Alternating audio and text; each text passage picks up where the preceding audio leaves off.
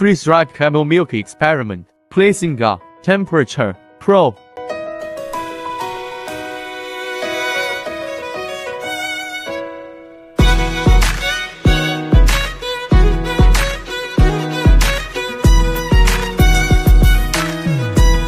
Set up the program.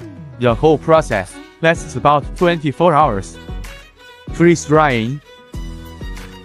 Get freeze dried camel milk